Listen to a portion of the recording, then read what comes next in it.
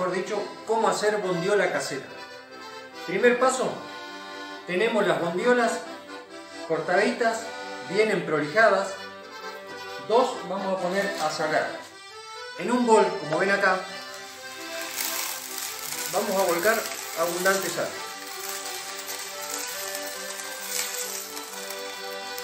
Paso siguiente, ponemos una bondiola, la acomodamos ahí y acomodamos la segunda bondiola.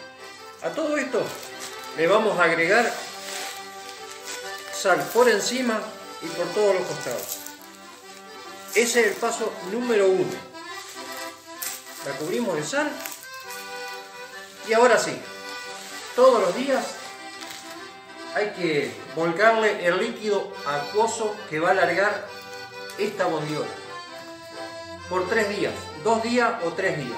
Al tercer día la sacamos y ahí sí empezamos el proceso de saborizarlas y embutido. Con el proceso de embutido de nuestras bondiolas caseras. Estas bondiolas ya pasaron los tres días de sal. Esta está saborizada con pimienta y con ají molido a gusto del cliente.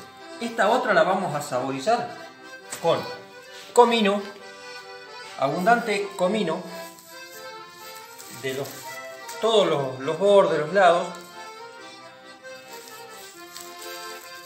nuez moscada, nunca debe faltar la nuez moscada. Esta es una, una nuez que la rayé antes de, de hacer el embutido. Esta no va a tener nada de picante, porque hay personas que no pueden comer picante, entonces bueno, va a estar saborizado. Y el tercer ingrediente, el anís. Anís en grano. Que cuando cortemos la bondiolita, sintamos ese frescor que le da el anís. Esto queda listo para envolver en nuestro papel. Papel especial para envolver bondiola. Le damos forma y ahora sí amigos, a embutir. Apretamos fuerte y la vamos a enroscar. Embutimos y ahora tenemos que atar como si fuera un caramelo en ambas puntas. Ahí ya tenemos la bondiola prácticamente armada. Hacemos este proceso con un hilo llamado hilo choricero. Atamos bien fuerte en ambos extremos.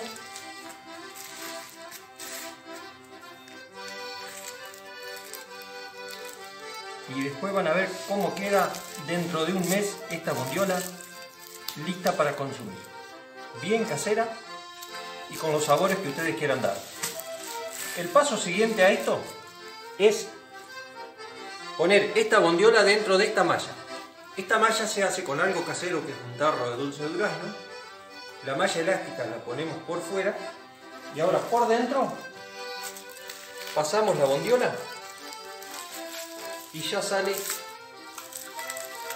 con la malla bordeada que le da esa forma que nos damos cuando compramos una bondiola hecha en una fábrica. Cortamos el sobrante.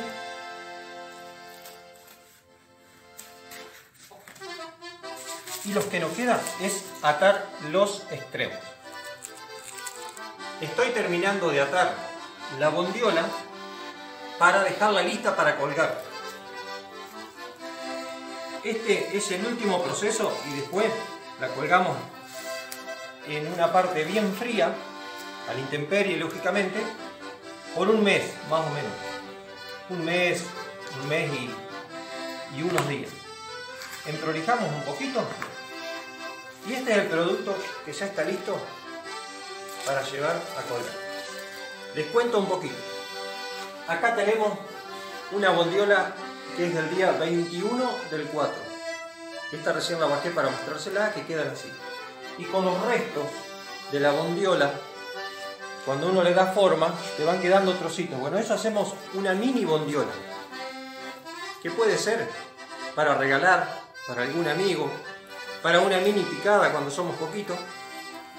Así que espero que les sirva este mini tutorial.